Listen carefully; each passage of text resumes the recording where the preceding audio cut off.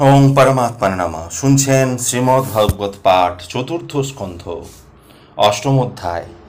পৃথুর বিষ্ণুলোক প্রাপ্তি। মৈত্র বলেন, শুনো মনীষী বিদুর, যিনি অন্য গ্রাম ও পুরো সৃজন্য প্রচুর, সেই প্রজাপতি পৃথু করেন পালন। কি কারণে জন্ম তাহা করে সম্পাদন? বৃদ্ধকালে রাজ্য ত্যাগ ইচ্ছিয়া মনেতে, কন্যা রূপা পৃথিবীতে দেন পুত্র হাতে, পত্নী সহ তপবনে করেন গমন তাহার বিরহে প্রজা কর রোদন তপবনে গিয়া রাজা, তপে চ বড় মন, ফলমূল শুষ্ক পাত্র করে ভোজন। চারিদি চারিদিকে অগ্নিকুণ্ড, ঊর্ধ্বলোকে রবি, শীতেতে আকণ্ঠ জলে সহ্য করে সবই। কঠোর তপস্যা, ফলে সংসার বন্ধন হইল বিমুক্ত। রাজা ভজে নারায়ণ পরব্রহ্মে ওই কান্তি কি ভক্তি উপজিল? আমারও অমিত্যবোধ সব দূর হল। যুগে ঈশ্বর্যে লোভ নাই, অনাসক্ত অতি। শ্রীকৃষ্ণে সুপিয়া আত্মা লভে পরা গতি মূলাধার চক্র হতে প্রাণবায়ু ধীরে।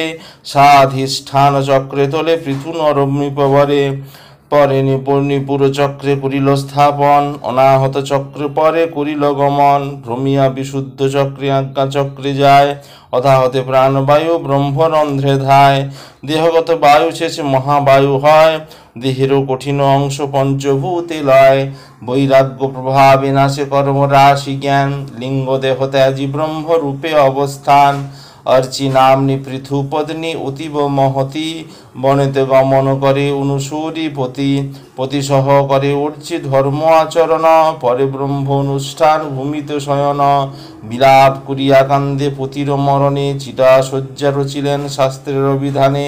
যথাবিধি শেষকৃত্য করি সম্পুনুষ্ঠান চিতায় পশিল করি প্রতিপদ ধ্যান। আকাশ আকাশেতে বেদবাক্য পুষ্পবৃষ্টি হয়। প্রশংসে রমণীবৃন্দ তারে অতিশয়। পৃথুর পিছনে উঠছে, ঊর্ধ্ব লোকে যায়। পরমাত্মা রাধিয়া বিষ্ণু লোক পায়। মৈত্রীয় বলেন, শুন, বিদুর সুজন অর্চিরে প্রশংসে যত দেব নারীগণ, পরম বৈষ্ণব পৃথু চরিত্র তাহার। অনুরোধে কহিলাম, তোমা সবাকার পৃথুর চরিত্র সেই।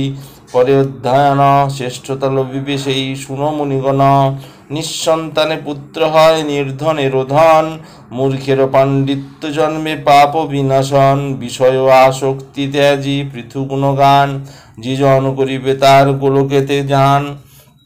এত কহি বিদুরের মৈত্রেয় সুধীর, হইলেন হরিপ্রেমে ক্ষণেক সুস্থির সুবোধ রচিল এই ভক্তিময় গীত, শুনিলে জীবের মুক্তি পৃথুর চরিত। ইতি পৃথুর বিষ্ণু লোক প্রাপ্তি। নবম অধ্যায় প্রচেতা। ও রুদ্র সংবাদ, মৈত্র কহেন শুনো শূদ্র সুজন। রুদ্র প্রচেতার কথা করিব গণ কীর্তন। প্রচেতাগণের কাছে যেমতি শঙ্কর, কহিলেন, ভাগবত পুণ্যের আকর। আভাস তাহার তোমা কহিব সুজন। অবহিত চিত্তে বৎস করহ শ্রবণ। বিজিতাশ্ব আদি পঞ্চ পৃথুর কুমার। বিজিতাশ্রী সর্বশ্রেষ্ঠ শাস্ত্রেতে প্রচার। পিতার মরণে তিনি পান সিংহাসন, অন্তরে ছিলেন তিনি হরিপরায়ণ।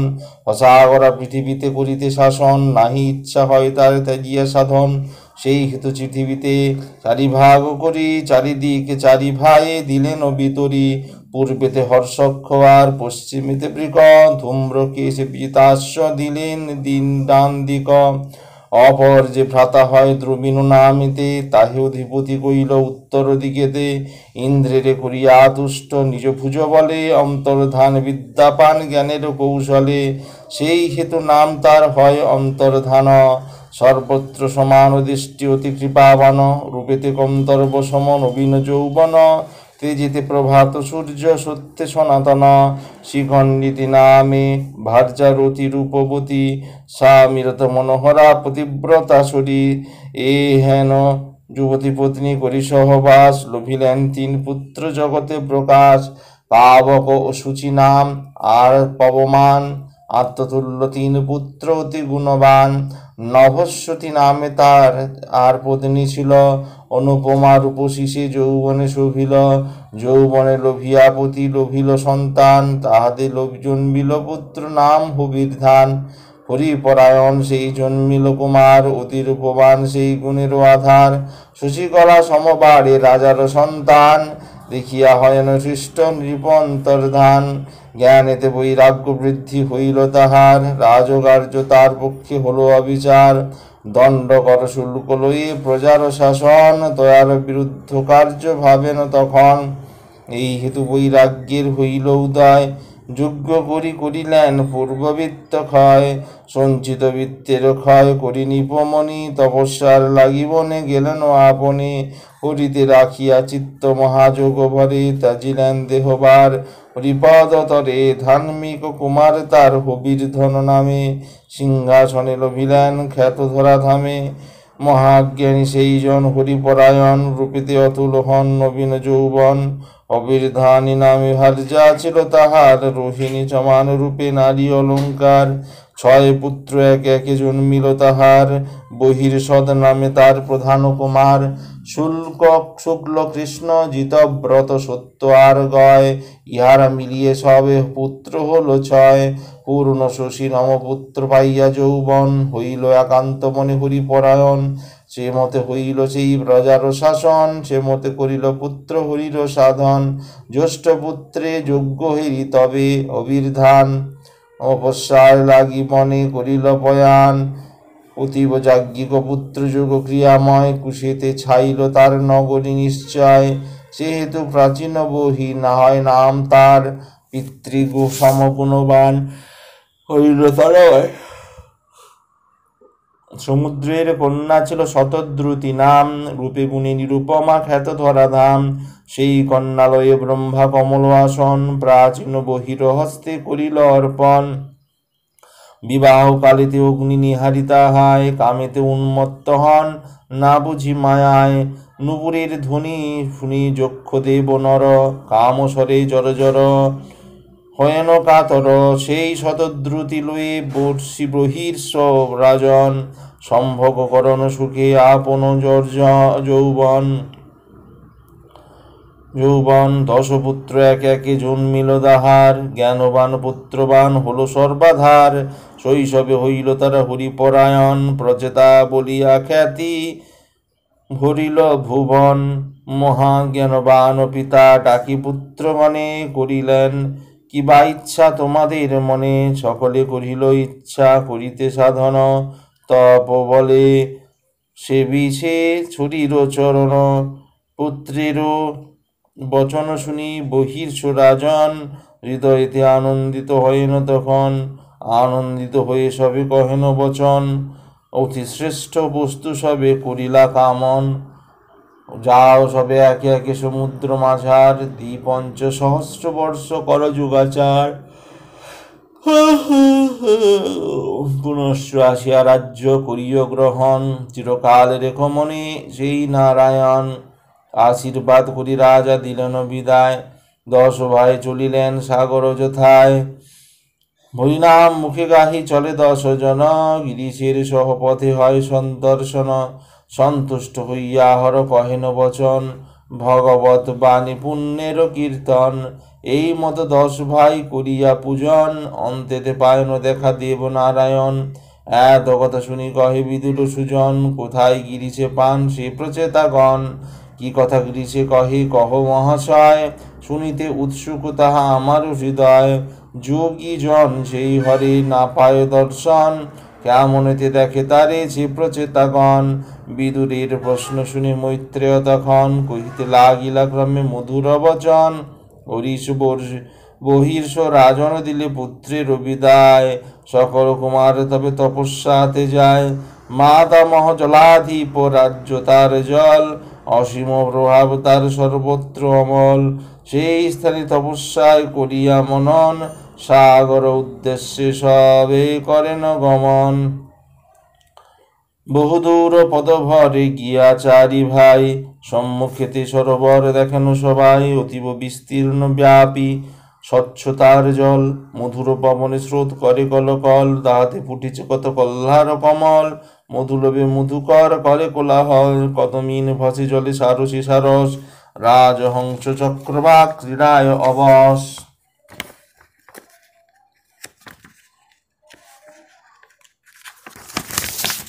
নিকুঞ্জ মণ্ডিত তীর ফল ফুলময়, কত বৃক্ষ, কত লতা, কত গুল্মচয়, ময়ূর ময়ূর নাচে।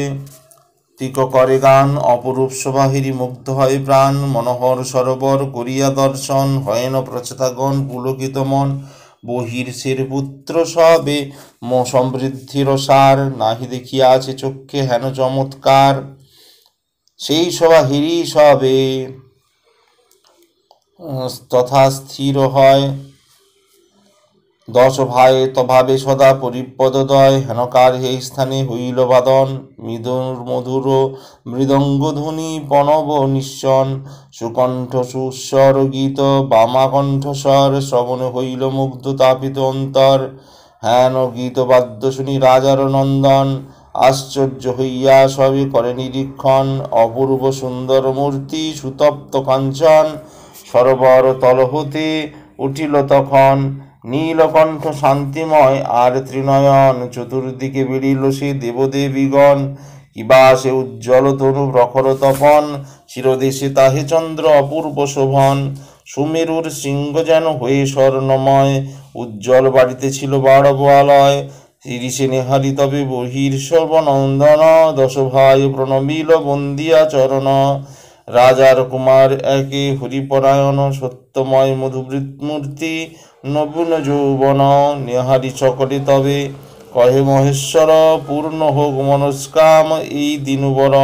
চিনিয়া আছি তোমা সবে বহির্ষ কুমার, রাজ্য সুখ ত্যাজি সবে কর যোগাচার। উত্তম কামনা হেরি বুঝিয়া অন্তরে, দিলাম সকলে দেখা এই সরোবরে। দেবের দুর্লভ আমি মনুষ্য কি ছাড় কিন্তু বাসুদেব ভক্ত প্রিয় সে আমার। বহু পুণ্য বলে লোকে ব্রহ্মপদ পায়, ততধিক পুণ্য ফলে নেহারে আমায়। ভগবান সব প্রিয় হয় ভক্তজন, তোমরাও সেই ভক্ত রাজার নন্দন। এই হতো সরোবরে দিয়া দর্শন, যোগ্য শিক্ষা দিতে মোর হইল মনন। সে মন্ত্র মন, মন্ত্রে তপস্যা করি পায় শ্রীনিবাস। কহিব সবারে আজি সে মন্ত্র আভাস। হইবে তাহাতে জ্ঞান মুক্তির সাধন, তাহাতে পাইবে দেখা নিত্য নিরঞ্জন। এত বলি রুদ্রদেব করি যোগাসন হৃদয়ে ভাবেন সেই নিত্য নারায়ণ। ভক্তিভাবে হরিপদ করিয়া শরণ, এই কতভাবে অবস্তুতি করিল পঠন। তোমার কল্যাণে হয় জগত কল্যাণ, আমার মঙ্গল তুমি করহ বিধান। সর্বময় সর্বাত্মক তুমি জীবাশ্রয়। তোমার প্রণাম করি। ভদ্রনাম দেব সর্বকরণ কারণ, নির্বিকার সপ্রকাশ প্রভু নারায়ণ। তুমি দেব সংকর্ষণ প্রলয় বিধাতা, প্রদ্যুন্ন রূপেতে তুমি বুদ্ধি প্রতিষ্ঠাতা, অনিরুদ্ধ রূপী দেব মনের কারণ, বিষ্ণু রূপে সনকাদি অজ্ঞান স্নাসন, নানা অবতার রূপে আবির্ভাব তত তব, রূপের তুলনা নাহি নিত্য নব নব। স্বর্গমোক্ষতার তুমি অনল স্বরূপ চতুর্গোত্র কর্মে তব কত কত রূপ পিতৃগণ অন্ন তুমি বেদ পরিপতি জলরূপী দেব তুমি বিরাট মূরতি, বায়ু তুমি শক্তি তুমি তুমি ভগবান, জ্ঞানময় প্রভু তুমি যোগ্যতা প্রদান। সর্বকর্ম ফলদাতা তুমি দেব ধর্ম, তোমা হতে হয় যত জ্ঞান আর কর্ম। তুমি রুদ্র, তুমি ব্রহ্মা, নিত্য সনাতন, অভিলাষী মোরা, তুমি দাও হি দর্শন। যে রূপেতে ভক্ত হৃদে তোমার আসন নবজলধর শ্যাম তোমার বরণ। পদ্ম কোশ কপলা সাক্ষ্য নাসা ভুরুয়ার, সুন্দর কপলদন্ত কত অলঙ্কার, সহাস্য কটাক্ষ তব অলক শোভিত। সুপিত বসন কর্ণ কুণ্ডল ভূষিত, শঙ্খ চক্র গদা পদ্ম আর মণিমালা, জিরূপে ভুবন তুমি করিয়া আলা কণ্ঠ দেশে শোভা পায় কৌত্রস্তব রতন, বক্ষ দেশে লক্ষ্মী দেবী লয়ন আসন নিতম্বে বসন পিত তাহে চন্দ্রহারা, জান জঙ্ঘা পদ হয় রূপের আধার। নখ কান্তি দূর ঘরে, হৃদয় আধার দেখাও মোদের প্রভু রূপ তোমার। অজ্ঞান সংসারী যুবে তুমি হও গুরু ভক্ত মনোগাঞ্ছাপুর দেবকল্পতরু। আত্মশুদ্ধ কামিজন রূপ করে দান। যে মূর্তি ভজনে হয় ধর্ম অনুষ্ঠান, স্বর্গরাজ্য সেই জন করে অধিকার, তোমারে পাইতে বাঞ্ছা ছয়ে তাহার। ভক্তিহীন জন কবু তোমা নাহি পায়, সাধুজনে চাই ঠাঁই তব রাঙা পায়। আবন প্রভাবে কাল বিশ্ব ধ্বংস করি তব ভক্ত কবু কালো ধরিবারে নারী, এইভাবে রুদ্রভাব রুদ্রদেব করে তব স্তুতি। শুনিয়া প্রচেতাগণ হৃষ্টমতি রুদ্রগীত অনুসারী শ্রীহরিচরণ বন্দিল প্রচেতাগণে হরষিত মন, পুনরপি করে স্তুতি। রুদ্র প্রচেতারা চেত স্তব করেন বটনে দূর হয় মোহ করা।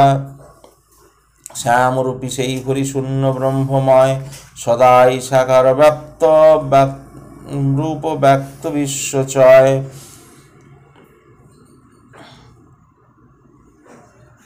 বিশ্ব ত্রিভুবনে আছে যত জীব সমুদায়, সকলে নারায়ণ হতে জন্ম লয় সকলই ক্রমেতে লয় প্রাণীটি শরীর জরায়ুজ ও সেদেজ আদি প্রকৃতির, চারি আকারের মধ্যে আত্মরূপ হয়ে পুরুষ রূপেতে ভরি থাকেন হৃদয়ে, মধুকর সমজীব তাহারি চেতন, ইন্দ্রিয় করেতে করে বিষয় গ্রহণ, সুখ দুঃখ ইত্যাদিতে বেষ্টিত সংসার, উপভোগ করে জীব মোহসভাকার এই মোহ হয় ক্রমে বিশ্বের সংহার। তাহাতে পুনঃ সৃষ্টি করিলাম, সার। এমতে করিয়া কার্য সেই নারায়ণ। আপনি বিরাট রূপে উজ্জ্বল ভুবন। পূর্ণ ব্রহ্ম রূপেরণ শ্রী মধুসূদন ভক্তের হৃদয়ে জাগিছে বংশীবদন। আত্মারূপে সেই হিরি। হরি মহাতত্ত্বময়, সর্বজীবাত্মার মাঝে আনন্দিত রয়। সেই ভগবান ভাব সিদ্ধ করি জ্ঞান, হইবে তপস্যা পূর্ণ কহিনু সন্ধান। রাজার কুমার সবে ভূরিভক্তজন, মহাভাগবত জ্ঞান করানুশ্রবণ এই রূপে করি সেই হেরি করিয়া ধারণা। পুরাও কুমার সবে শিহুরি সাধনা, পুরাকালে সৃষ্টিকর্তা কমল আসন, সপ্তর্ষি সহিতে এই কহেন বচন। তাহার আজ্ঞার তত্ত্ব কহিনু সবাই করিবে এহেন যোগ বুঝিয়া আমায়।